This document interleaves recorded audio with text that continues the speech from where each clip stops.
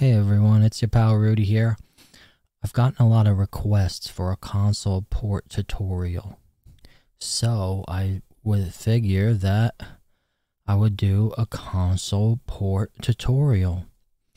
I'm going to run through the whole process. We're going to do it on like a clean version of World of Warcraft. It doesn't matter which version, but try try to try to kind of follow along. All right, so in the beginning, you're gonna need like a CurseForge. I don't know what your skill level is, so I'm going to assume that you have nothing. You have nothing about this, okay?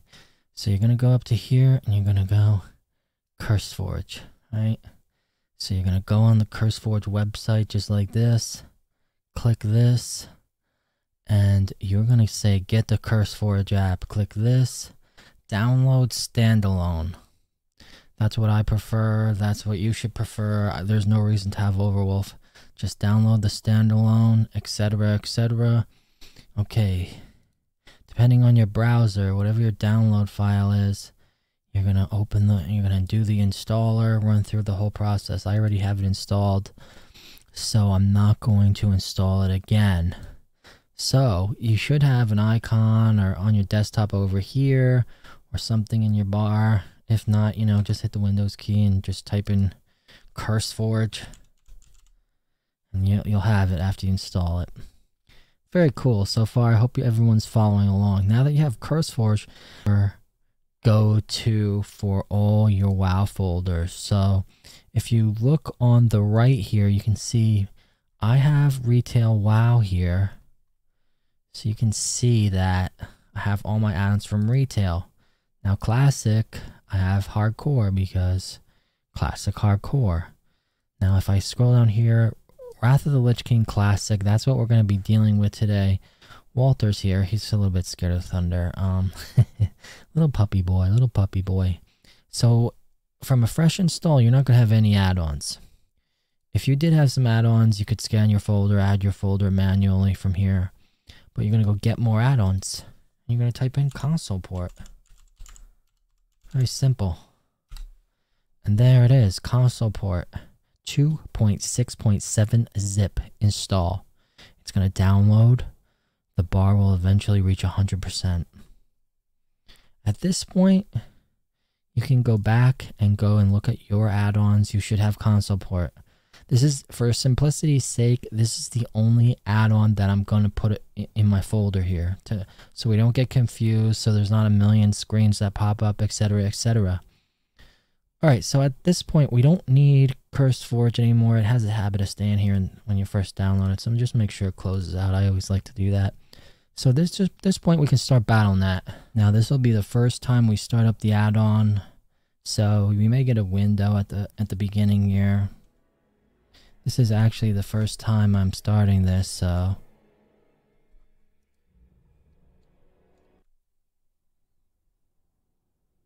It's going to be very realistic. It may not be like this for you. Okay, so we'll say load anyway.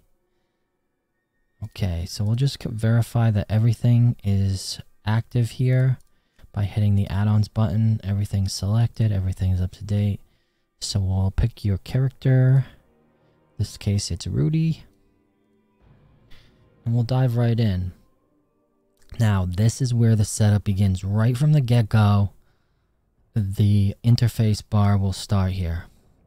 So, according to what we know, right, if you're going to use a controller, like a PlayStation controller, maybe you want to switch just for whatever your purpose may be, but in this case, the ROG Ally, the strongest little device here is the Xbox console.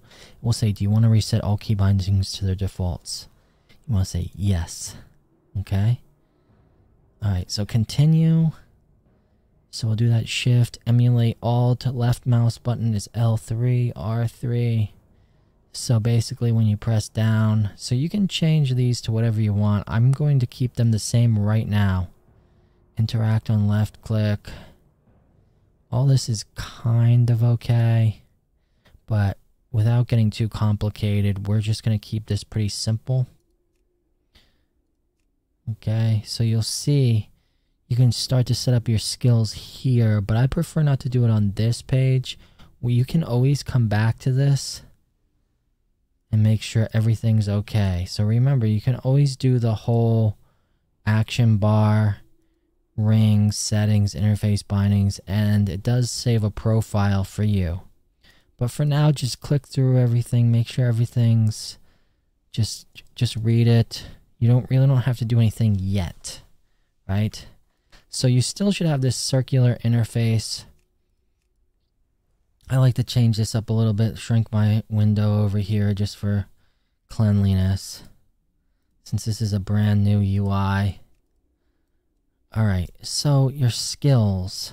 You'll notice X, Y, B, like these all work from the ROG Ally gamepad. Jump, this is jump. So you should, you, these should load in naturally. At least they may not be your most popular skills, but but some skills do like kind of pre-populate. I like to usually put mounts over here, etc., etc., but we know we're an assassination rogue, so what I'm going to do is I'm going to put all the skills I normally would use, you know, in this slot. So normally, like as an assassination rogue, you would use Sinister Strike and Mutilate. So I want to put Mutilate maybe like right here. Sinister Strike over there. Auto attack's not really that important. Now, I'm using a mouse right now. You can go ahead and just use your finger too. Like, see this little tail that's walking around? So I can say, I can pull that hunt for blood key and I can put it right there on, on LTX, right? So you can take this over there and see it's already there. So you can do that with no problems whatsoever.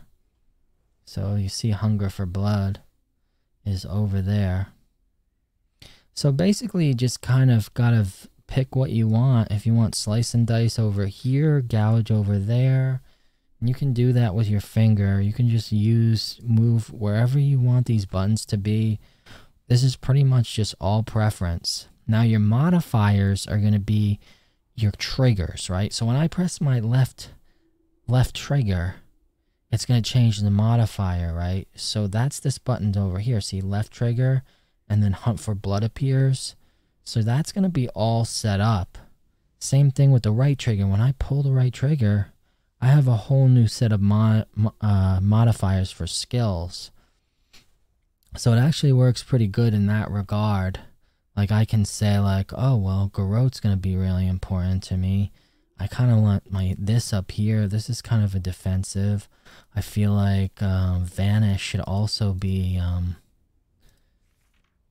you know, Vanish should also be somewhere important. So where's Vanish? I don't see Vanish, actually. Oh, I think it's in sub. Yeah, so Vanish is important too. So maybe I'll just put Vanish there because that's more like a down. And then like this over here, we have Cloak. And maybe... Maybe this isn't that important. Maybe I want... uh left trigger Y could be my slice and dice. So see how it's now over there? So basically you just put everything where you would like it. All you have to do on your ROG Ally, hit the menu key up at the top, or you can hit escape, or let's see, what else is it? It's, it's just the menu key now. So it's the, that three line key, it's right above the uh, Armoury Crate icon. It's basically like the generalized start button, menu button. If you're using a controller, I believe it is the start button. I believe the Xbox button, PlayStation button will get you here too. So you just hit this, and now you have this interface, right? You have this interface you can use. So you can use your D-pad to navigate this. Remember this, the, your joysticks will operate your character, but your D-pad will scroll you through the menu. So if you're just using your ally, use your D-pad and you can scroll through here, you can see controls. So you can do your controls.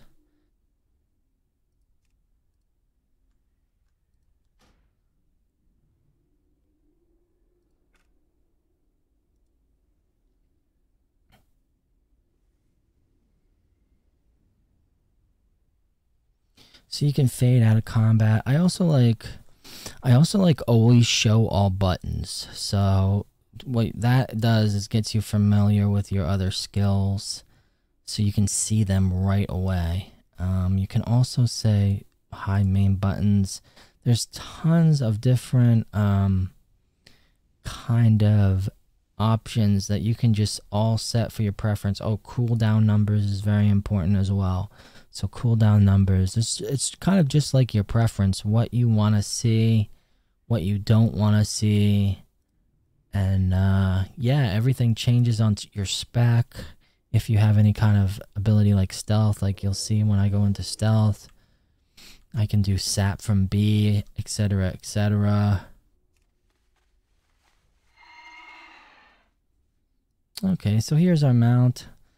So another thing is put your mount somewhere where you really want that to be too. I guess like left trigger up is a nice nice mount bar. Sometimes mount's important like to have right away. So yeah. So pretty much just get your bars and get all your skills to however you want them, whatever you want over there whatever skill you want on your bar, just put it over on your bar. And you can get this all set up. Like say I want expose over here. Uh, slice and dice, we already have that. Evasion, backstab, gouge, shiv. Guess we need a good cheap shot. Rupture is important too, so maybe we want to say like left trigger B rupture.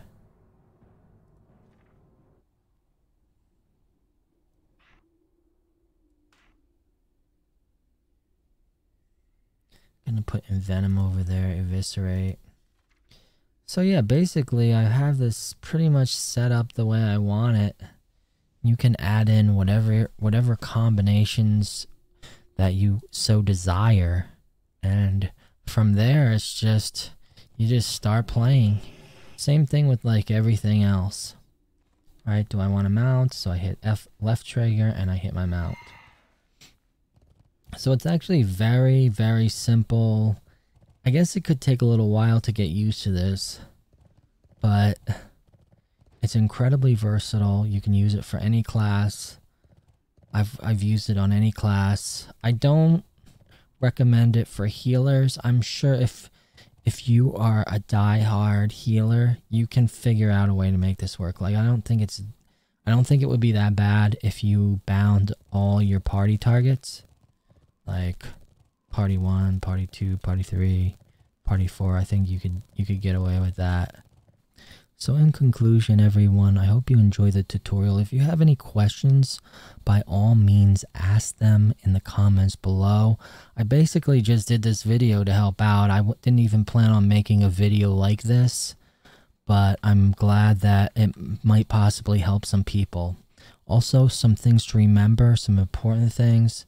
Make sure that either auto control mode is on or gamepad mode you can't use the add-on if desktop mode is selected. So just keep it on gamepad.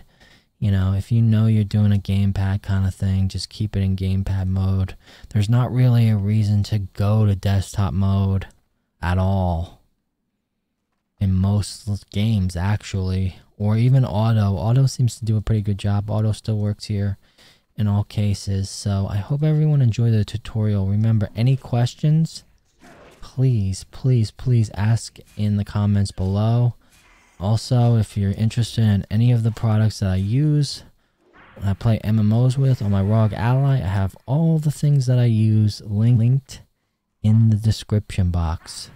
So if you need a keyboard, mouse, etc., etc., the hard drive I'm using, all that stuff, you should be fine. It should be easy. It should be seamless. There should be no issues. That's pretty much it. And if you are having some kind of issues, again, just just double check gamepad mode or auto. But from from the get-go, the mod should pretty much install itself. It's pretty much just you customizing what skills you want, what how you want the modifiers to react, what you want your main skills to show. So just kind of remember all those tips, show all skills, show cooldowns, and you should be Gucci. And thank you everyone, and I hope you enjoy the tutorial. And I want to remind you to look good, feel good, and perform well.